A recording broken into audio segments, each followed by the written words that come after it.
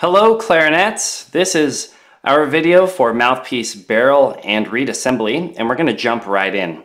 Go ahead and lay your case flat on a surface. Table is good, a chair is good, and you can unzip or unlatch and open that case.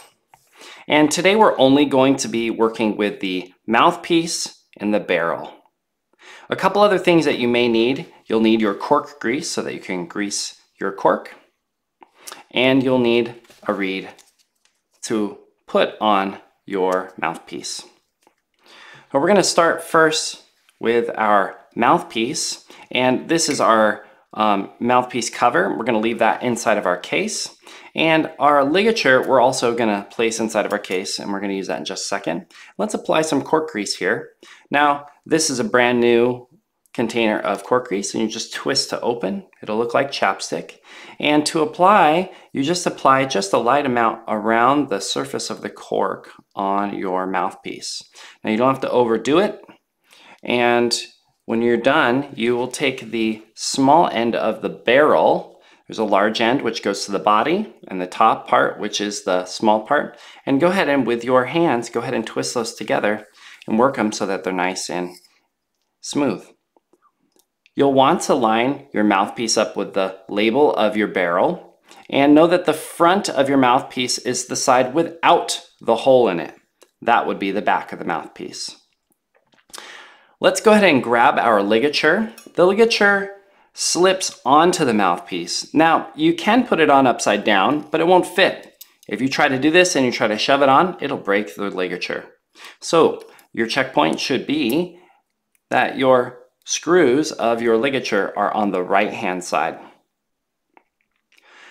Now, I always tell my students ligature on the mouthpiece first, then reed, so that you don't chip the reed. We're going to place our mouthpiece down for just a second, and we'll grab our reed. Now our reed comes in a protective case, but this is not the reed guard. We have a Rico Royal 2.0 strength, which is exactly what we need. We're going to pull that out. And there's a flat part of the reed called the reed table, and it actually goes right in the back or the flat part of the mouthpiece. So we'll lift that reed up and we'll slide it and we're gonna hold it in one hand.